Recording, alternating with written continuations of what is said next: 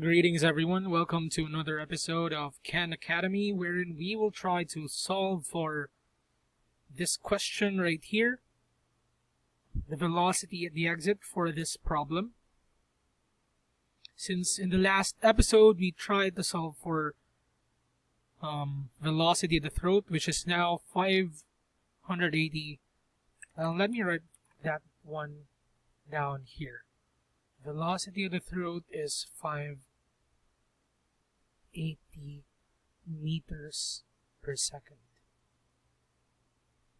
Now, for this question right here, we are looking for the velocity at the exit. And take note, the velocity at the exit is supersonic, meaning to say that the Mach number is greater than 1, meaning to say that the velocity in this region should be greater than our throat velocity.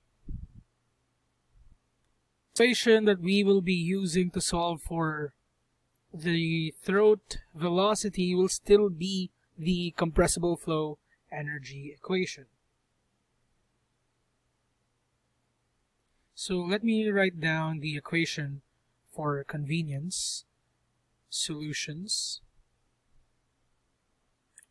uh, let me write that one down right here. Solutions.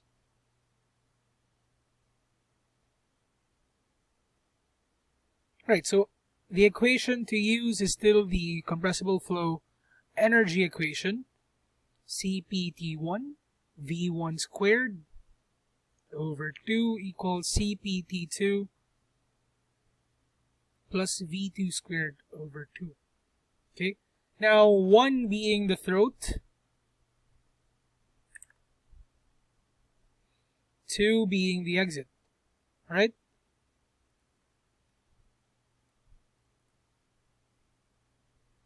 This is now our state 1, this is now our state 2. So let me just rearrange the equation right here by transferring CP2 2 to the left side.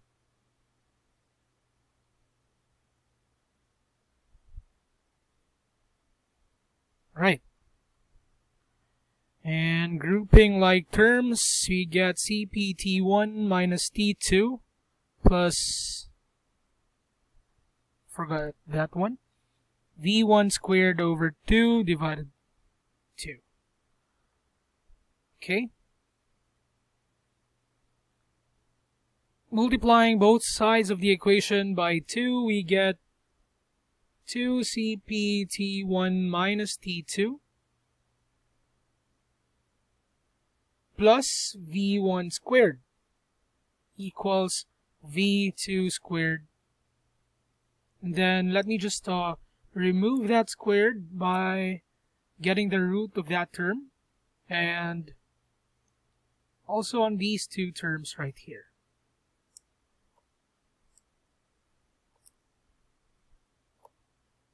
Alright. So we now have our equation to get the velocity at the exit and it's given by 2cp t1 minus t2 plus v1 squared. Substituting known values, Oops.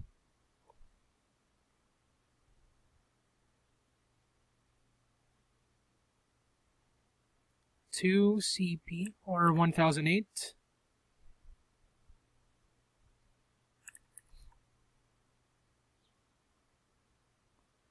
T1 is the temperature at the throat, which is 833 Kelvin minus uh, 300 Kelvin plus v1 squared is 580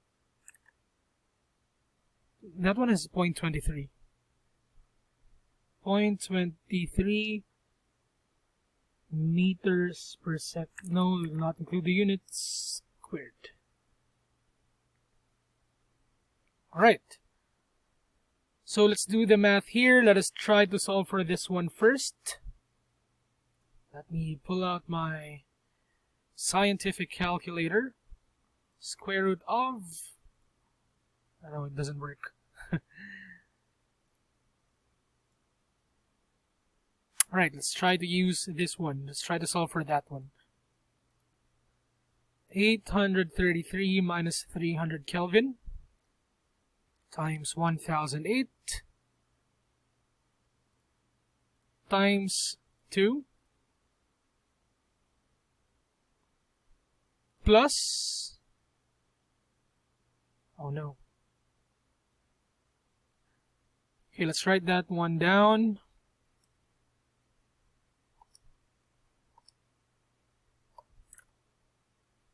One one million seventy four five hundred twenty eight plus the square root of 580 580.23 squared. 80.23 squared. Wait what's happening? 580.23 squared.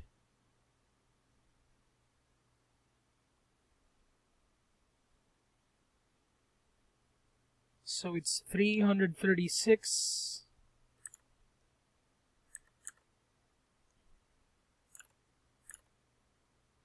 85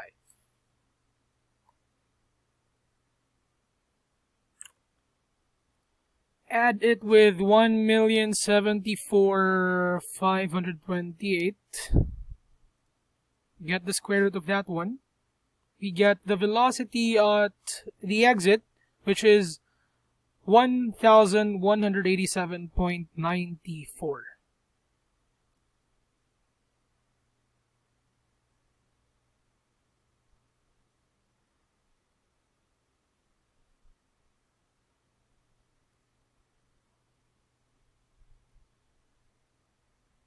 meters per second right so how do, how do I know if my units came out correct so let me try to erase this side.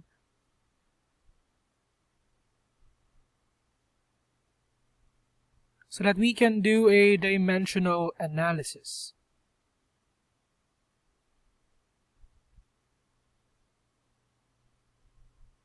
Right.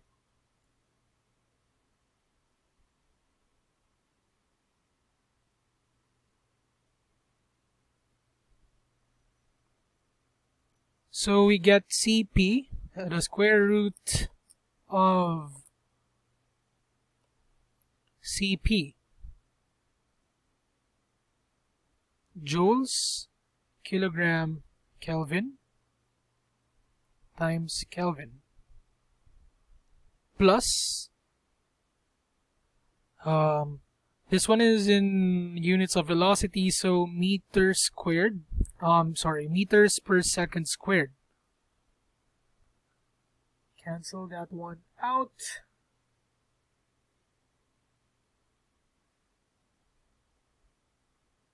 Alright, so this one, we did this one already. That one is equal to meter squared second squared. Okay?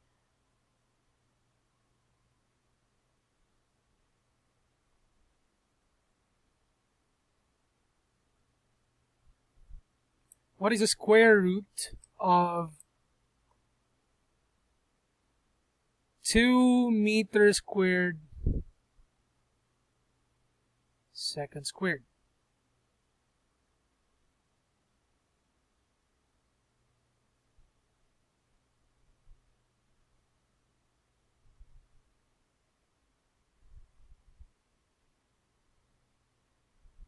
Yeah, there's something wrong with my equation right here. Let me just try to erase that one right here.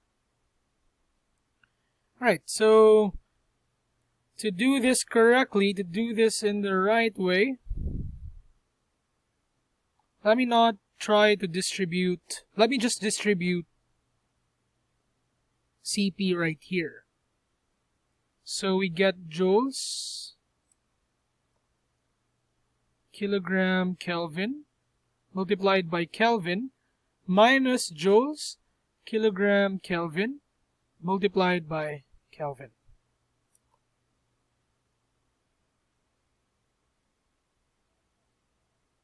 Okay, meters squared second squared. Right. I'm in the right track.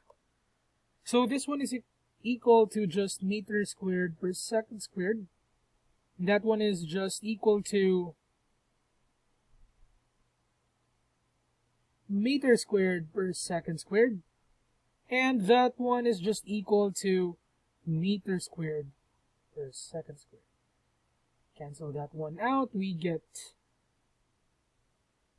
we get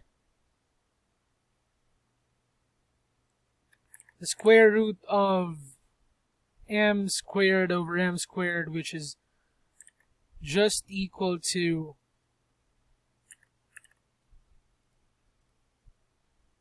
meters per second meters uh, meter per second.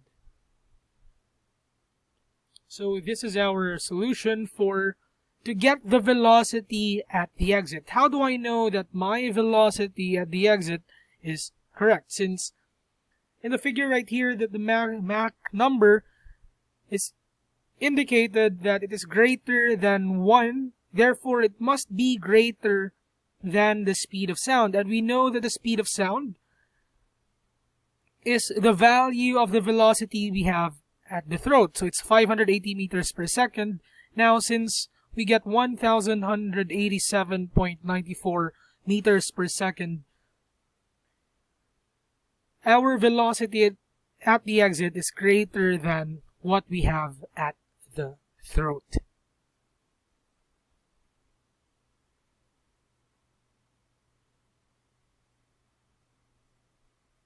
Alright, so that's for velocity at the exit.